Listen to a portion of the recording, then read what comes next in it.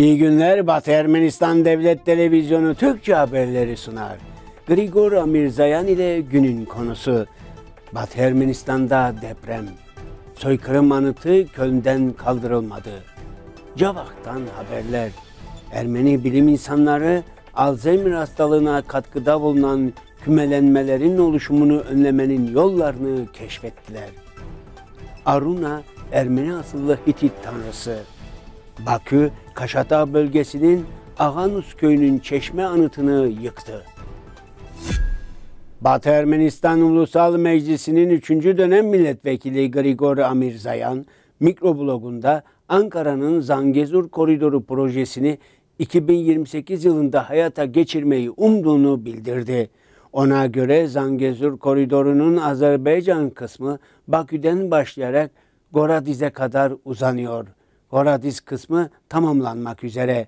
Amirzayan Zangezur koridoru sayesinde Ankara'nın Türk dünyası ülkelerine doğrudan erişim imkanına sahip olacağını sözlerine ekledi. Grigor Amirzayan'ın konuyla ilgili analizini Batı Ermenistan televizyonunun YouTube sayfasından izleyebilirsiniz. Batı Ermenistan'ın Malatya bölgesinde dört büyüklüğünde deprem meydana geldi. Bu durum Afet Yönetim Dairesi Başkanlığı tarafından bildirildi. Daire Başkanlığı'nın X sosyal ağındaki mesajına göre Battal Gazi bölgesinde saat 15.10'da sarsıntı kaydedildi. Depremin kaynağı 8.76 kilometre derinlikte bulunuyordu. Kaynağının 8.7 kilometre derinlikte yer aldığı Batı Ermenistan'ın doğusundaki Mamike Dersim şehrinde 1 Ocak'ta 4.2 büyüklüğünde deprem kaydedildiğini hatırlatalım. Birkaç gün önce medyada Almanya'nın Köl kentindeki Ermenilere uygulanan soykırım Armenosit anıtının söküldüğü bilgisi yayıldı. Anıtın Türk milliyetçilerinin baskısıyla Köln Belediyesi tarafından kaldırıldığı belirtildi. Medya, bilginin kaynağı olarak Alman Welt Haber Ajansı'nın yayınını gösterdi. Ancak yayında hangi anıtın söküldüğü değil, Köln Belediye Başkanı'nın gelecekte anıtın kaldırılması yönündeki nihai kararı yazılıydı. Soykırımı hatırla girişimiyle 15 Nisan 2018'de Köln'de Ermenilere uygulanan soykırım Armenoside adanan bu acı hepimize ait anıtı dikildi. Anıt kentin merkezinde soykırım yapmakla da suçlanan İmparator II. Wilhelm'in heykelinin yanına sembolik bir yere dikildi. Anıt Köln şehir yetkililerinin izni olmadan kuruldu. Anıt montajından 4 gün sonra 19 Nisan 2018'de belediyenin kararıyla söküldü. Anıt her yıl Nisan ayında geçici olarak kurulup haftalar sonra kaldırılıyor. Nisan 2023'te girişim grubu Köln Merkez İlçe Meclisi'nin desteğiyle anıtın dikilmesi için belediyeden bir ay süreyle izin almayı başardı. Belediye Mayıs ayında ve daha sonra Temmuz ayında iznin süresinin dolmasının ardından anıtı kaldırmaya çalıştı. Her iki durumda da inisiyatif grubu ve destekçilerinin düzenlediği protestolar sayesinde anıt kaldırılmadı ve hala yerinde. Soykırımı hatırla girişimi üyesi İlyas Hatspanyan, gazetecilerle yaptığı görüşmede anıtın söküleceği haberlerini yalanlayarak anıtın en az 2024 baharına kadar yerinde kalacağını belirtti. Hatspanyan, anıt bir yıldır yerinde duruyor. Belediye anıtı daha önce 2018 ve 2022 yıllarında olmak üzere iki kez kaldırmıştı. Şu anda dağıtılmakta olan sökme fotoğrafları o sırada çekildi dedi. Köln Belediyesi şiddet, ırkçılık ve insan hakları ihlalleri kurbanlarının anısına yeni bir anıt inşa etmek istiyor. Ancak soykırımı hatırla girişimi yıllar sürecek yeni anıt kompleksinin inşasına kadar eski anıtın yerinde kalması için mücadele ediyor. Hatspanyan, Şubat-Mart 2024'te anıtın gelecekteki kaderine karar verecek ve yeni bir anıt kompleksi inşa etme projesini tartışacak bir komisyon kurulmalı.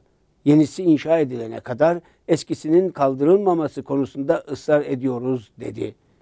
Daha önce Almanya Ermeni Piskoposluğu lideri Serope İsahanyan anıtın söküldüğü haberlerini yalanlamıştı. Hatspanya'nın sunduğu fotoğraf anıtın kaldırılmadığını kanıtlıyor. Dolayısıyla Köln'de Ermenilere uygulanan soykırım Armenoside adanan anıtın söküldüğü bilgisi yanlış, yayınlanan fotoğraflar ise eski. 6 Ocak'ta Cavak Ermeni Apostolik Kilisesi'nin inananları Kutsal Haç Kilisesi'nde başlıca Hristiyan bayramlarından biri olan İsa Mesih'in doğuşu ve vaftizini kutladılar. Kutsal hizmet Surpaç Kilisesi'nin ruhani lideri Rahip Narek Dikranyan tarafından gerçekleştirildi. Ayinin ardından Rahip Narek Dikranyan su kutsamasını gerçekleştirdi. Suya kutsal miron eklenir ve dua ile su bereketlenir. Cavak'taki Kaço Köy Derneği'nin onarımı için yerel bütçeden 143.460 gel taksis edildi. Yapım işi ihalesini daha önce yapılmış olup bireysel girişimci Arthur Bedrosyan 127.780 lari ile kazanmıştı. Çalışmalar bu yıl içerisinde başlayacak. Kaco Köy Derneği uzun süredir olağanüstü bir durumdaydı. Tavan yıkılmış, pencerelerde cam yok, salon çöple dolu, banklar küflenmiş, duvarlar kirli, sıvalar nemden dökülüyor, zemin çürümüş durumda. Bu duruma rağmen köyde yarışmalarda ödüller kazanmış bir dans grubu bulunmaktadır. Birkaç yıl önce yenilenen ve kışın köylülerin eğlence merkezi olarak hizmet veren kulübün koridorunda çocuklar topluluk lideriyle birlikte antrenman yaptı. İhale dokümanlarına göre çalışmalara 15 Nisan 2024 tarihinden itibaren başlanacak. İşin 60 gün içinde yapılması gerekiyor. Çatı onarılacak, yeni bir kapı takılacak, yeni pencereler takılacak, yeni bir sahne ve 100 seyirci için koltuklar yerleştirilecek. Cavak yıllardır spor arenasında parlıyor. Bunun en açık kanıtı Avrupa ve Gürcistan şampiyonları olup bu yılki spor başarılarımızı izleyicilerimize sunuyoruz. Cavak 2023'te 8 Gürcistan ve 2 Avrupa şampiyonuna sahip. 2023 yılında farklı yaş gruplarından 8 boksör Gürcistan şampiyonu oldu. Ayrıca sporcularımız çeşitli uluslararası turnuvalarda kickboksta şampiyon olmuştur. Avrupa'da iki Avrupa şampiyonumuz var. 60 kiloda Artyuş Gomtsyan ve 54 kiloda Gor Ayvazyan. Sporcularımız Batum'da düzenlenen turnuvadan da muhteşem sonuçlarla döndüler. Gürcistan Ulusal Boks takımına 8 boksör dahil edildi. 2024 yılındaki spor müsabakalarına katılacaklar. 2024 yılında Büyükler Avrupa Şampiyonası'na katılacak ve olimpiyat oyunlarına katılabilmek için iki büyük uluslararası turnuvaya katılacaklar. Ayrıca müsabakalarda mücadele edebilecek ikinci ve üçüncü sırayı alan boksörlerimiz birinci olan sporcuları yendikleri takdirde Avrupa Şampiyonası ve olimpiyat oyunlarına katılma hakkı da elde edecekler. Cavak Spor Okulu öğrencileri ayrıca birçok zafere imza attı. Serbest güreş sporcularımız bu yıl 25'i uluslararası müsabakalardan olmak üzere 43 madalya kazandı. Ahal Kalak Spor Okulu öğrencisi Brezilya'da 15 yaş altı gençlik olimpiyatlarından ikincilikle döndü. Futbolda Abul takımı da başarılarına imza attı. Gürcistan şampiyonasında 7. sırada yer aldı. 8 galibiyet, aynı sayıda yenilgi ve 4 beraberlik kaydetti. Genç futbol takımı ise 2009-2010 doğumlu gençler Samsıhe Cavaheti bölge şampiyonasında 3. oldu. 6 galibiyet, 5 mağlubiyet ve 1 beraberlik kaydettiler. Karatecilerimiz açısından da başarılı bir yıl oldu. Çeşitli turnuvalara katıldılar. 9 kez birincilik, 3 kez ikincilik ve 15 kez üçüncülük elde etti. Spor okulunun futbol, voleybol ve masa tenisi takımları Pan Ermeni oyunlarına katıldı. Doğu Ermenistan Ulusal Bilimler Akademisi, Doğu Ermenistan Cumhuriyeti Ulusal Bilimler Akademisi Organik ve Farmasötik Kimya Bilimsel ve Teknolojik Merkezi'nde sentezlenen iki yeni bileşiğin Hraçya Bunyatyan Biyokimya Enstitüsü'nde araştırıldığını bildirdi. Doğu Ermenistan Ulusal Bilimler Akademisi'nin Bilim ve Halkla İlişkiler Yayınlama Departmanı'nın bildirdiğine göre bu bileşikler Alzheimer hastalığının gelişimine katkıda bulunan asetil kolinesteriz teraz ve butil kolines teraz enzimlerinin faaliyetlerini imha etmektedir. Hraçya Bunyatyan Biyokimya Enstitüsü Müdürü Albert Antonyan yaptığı açıklamada bileşikler üzerinde daha ileri klinik öncesi araştırmaların uygulanmasının Alzheimer hastalığının bunlara dayalı olarak önlenmesi ve tedavisi için yeni ilaçların oluşturulmasına olanak sağlayacağını belirtti. Aruna adı Hititçe deniz kelimesiyle aynı olan bir Hitit deniz tanrısıydı.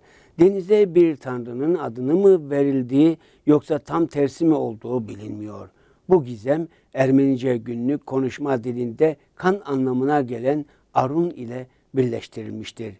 Popülofar.com Ermenice kan sözcüğünü Hititçe deniz sözcüğü ve benzer isimli bir tanrıyla ilişkilendirmeye çalışan bir teoriyi inceleyen bir makale yayınladı. Aruna terimi Hititçe'de deniz anlamına gelir ancak dil bilimciler Hint-Avrupa etimolojisi olasılığını göz önünde bulundurarak bunun Hititçeden alınmış bir kelime olduğunu öne sürüyorlar. Öte yandan özellikle Aruna kültünün Batı Ermenistan'ın güneydoğu kesimlerinde tahkim edilmiş olması nedeniyle bazıları Hurri kökenli olduğunu öne sürüyor. Aruna'nın varlığına dair ana ipucu Hurri metinlerinden özellikle de Hititlerin başkenti Hattuşa'da bulunan ve fırtına tanrısı Teşrup'la olan savaşını anlatan Deniz'in şarkısından elde edilebilir. Ermeni kökenli Hitit tanrısı Aruna'yı Batı Ermenistan Televizyonu Western Armenia TV'nin internet sitesinden okuyabilirsiniz. Azeriyolog bilim insanı Varsik Simonyan, Azerbaycan'ın Kaşata bölgesinin Ağanus yerleşim yerindeki Tutucur denilen bölgede Omari geçidinde hayatını kaybeden Dikran Abrahamyan ve arkadaşlarının anısına dikilen Haçkar anıtını yok ettiğini gösteren bir fotoğraf yayınladı. Azerbaycan işgalinden önce çeşme anıt ayakta durmuş, anıtın ortasına ve yanına iki adet Haçkar dikilmiştir. Daniel Varujan Caddesi'nde bulunan Harut Babayan ve Garik Manataganya'nın anısını yaşatan Haçkar Anıt Çeşmesi'nin yıkıldığı Mardager şehrinde de Azerbaycan vandalizminin tezahürlerine rastlıyoruz. Uluslararası Adalet Divanı işgal altındaki topraklarda kültürel varlıkların korunmasına ilişkin hükümler de dahil olmak üzere yürürlükte olan yasaları onaylamış, işleyen herhangi bir mirasın yok edilmesini yasaklamıştır. Haçkarları hedef almanın özellikle yasaklanmış bir eylem olduğunu ve tüm insanlığa karşı ciddi bir suç olarak kabul edildiğini belirtmekte fayda var.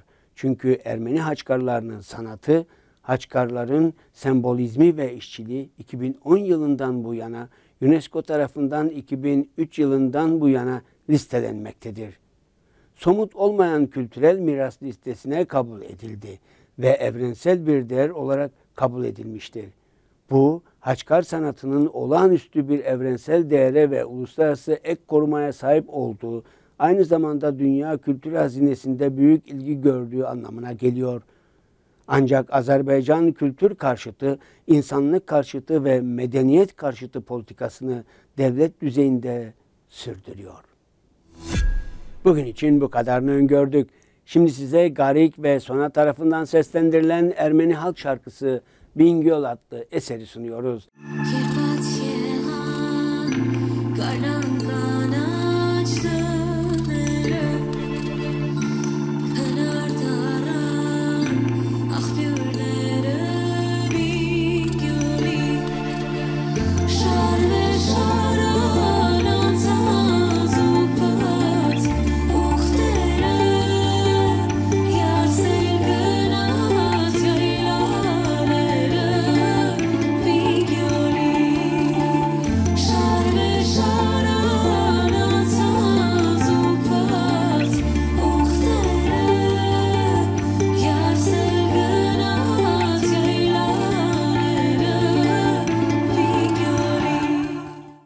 Eserin tamamını Batı Ermenistan Devlet Televizyonu'nun resmi sitesinden izleyebilirsiniz. Hoşçakalın.